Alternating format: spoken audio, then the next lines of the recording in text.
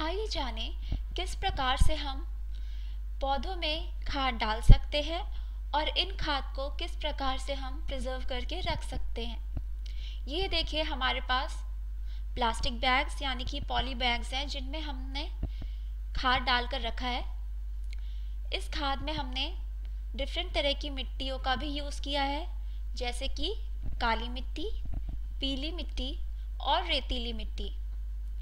In different तरह की मिट्टियों में हमने नेचुरल कंपोस्ट यानी कि गोबर और डीएपी और डीटीसी दो तरीके की कीटनाशकों का भी उपयोग किया है। ये हमारी काली मिट्टी की खाद है, जो कि पौधों के लिए बहुत ही लाभदायक है। हम खुरपे की सहायता से मिट्टी, खाद और कीटनाशकों को मिलाते हैं। जब ये सारी चीज़ें अच्छे से मिल जाती हैं, फिर हम दोनों हाथों से उनको बराबर मात्रा में इन पॉली बैग्स में डालते हैं। आप देख सकते हैं। और जब भी भी हमारे पौधों को खाद की आवश्यकता हो, हम उस वक्त इन खाद को उन पौधों में डाल सकते हैं और अपने पौधों को बीमारियों से बचा सकते हैं। आइए देखें किस प्रकार से मिट्टी और खाद को मिलाते हैं हम। ये देखिए, मिट्टी और खाद को कैसे हल्के हाथों से मिलाया जा रहा है। और जब ये खाद और मिट्टी प्रॉपरली मिक्स हो जाएँगे, फिर इनको हम पॉली बैग्स में डालेंगे। हमारे पीछे आप देख सकते हैं, बहुत सारे छोटे छोटे पौधे हैं, जिनको जो पॉली बैग्स में डाले गए हैं।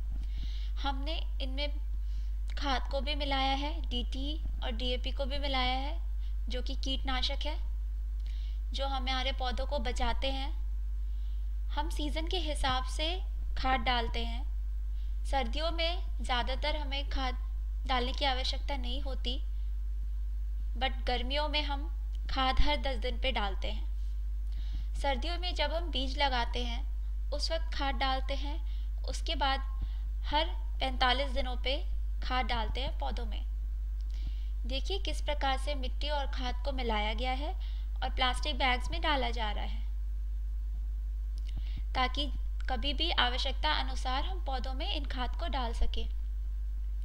हम अभी देखेंगे किस प्रकार से इन पॉली बैग्स में पौधों को लगाते हैं।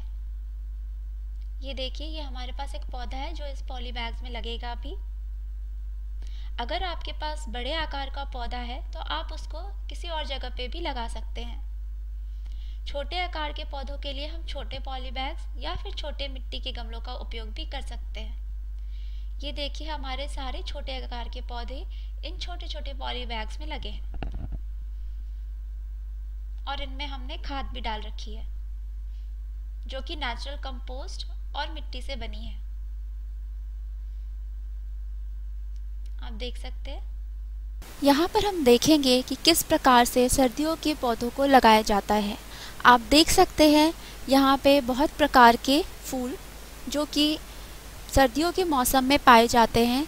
ये देखिए, ये हमारा डेज़ी फ्लावर है, जो कि हल्के पीले रंग का और हल्के ऑरेंज कलर का है। ये भी एक सर्दियों का पौधा है। आप देख सकते हैं, सर्दियों के पौधे हम दिसंबर के महीने में लगाते हैं और जब हम इनके बीज को रोपते हैं, उस वक्त 200 से 300 ग्राम खाद हम उन बीज में डालते हैं। ये हमारे पास गजनिया एक फूल होती है सर्दियों की। उनके पौधे हैं आप देखिए किस प्रकार से ये छोटे छोटे प्लास्टिक के गमलों में पौधे लगाए गए हैं और इनकी दूरी भी बिल्कुल बराबर मात्रा में रखी गई है ताकि पौधे बराबर मात्रा में ग्रो कर सकें। इनमें खाद हम हर 45 दिनों पे डालते हैं। मौसम और नमी के हिसाब से गर्मियों के पौधों को ज़्यादा पानी की आवश्यकता नहीं होती, बट आप देख सकते हैं कि इनको सही जगह पे रखा गया है जहाँ इनको धूप और पोषण मिल सके। ये देखिए, ये हमारे पास कुछ डालिया के फ्लावर्स हैं। ये सभी सर्दियों के पौधे हैं, जो कि सामान्यतः दिसंबर में लगाए जाते हैं और फरवरी तक इनमें अच्छे फूल आ जाते हैं। सर्दियों के पौधों का रखरखाव हमें ज़्यादा सावधानी से करना पड़ता है।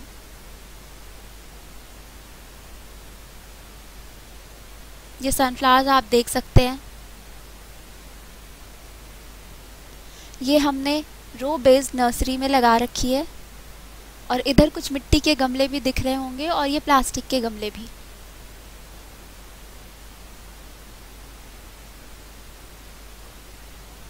आप देख रहे हैं कि हमने पौधों को ऐसी जगह पे लगा रखा है जहाँ इनको प्रॉपर धूप मिल सके, क्योंकि धूप पौधों के लिए बहुत आवश्यक होता है।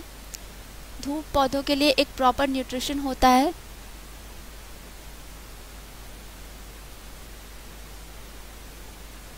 और मैनर्स और फर्टिलाइज़र्स टाइम टू टाइम पौधों पे डलते हैं। जैसा कि मैंने बताया, खाद 200 से 300 ग्राम होनी चाहिए खाद की मात्रा, ना बहुत अधिक, ना बहुत कम। ज़्यादा मात्रा में खाद भी पौधों के लिए लाभदायक नहीं होते।